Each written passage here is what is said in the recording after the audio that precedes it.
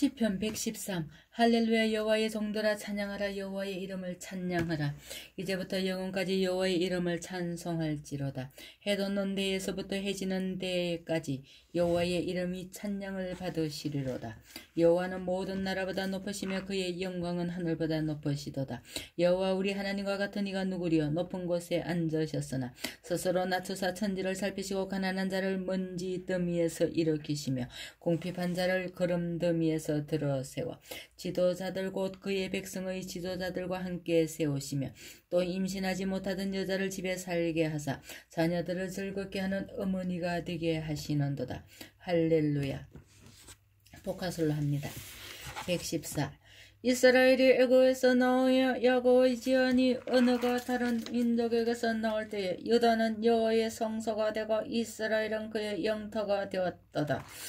바다가 허고 당하며 여다는 물러갔으니 산들은 순양들같이 뛰놀며 작은 산들은 어린 양들같이 뛰었도다. 바다야 네가 당한 어찌여 여다나 네가 물러가면 어찌인가? 너희 산들아 순양들같이 뛰놀며 작은 산들아 어린 양들같이 뛰놀면 어찌하인가?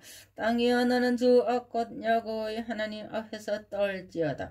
그가 반석을 쳐서 온누리 되게 하시며 차들, 차달러 생을이 되게 하셨도다. 115 여호와여 영광을 우리에게 돌리지 마옵소서. 우리에게 돌리지 마옵소서. 오직 주는 인자하시고 신실하심으로 주의 이름에만 영광을 돌리소서. 어찌하여 문 나라가 그들의 하나님이 이제 어디 있느냐 말라게 하리까? 오직 우리 하나님은 하늘에 계셔서 원하시는 모든 것을 행하셨나이다. 그들의 우상들은 은과 금이요 사람이 손으로 만든 것이라.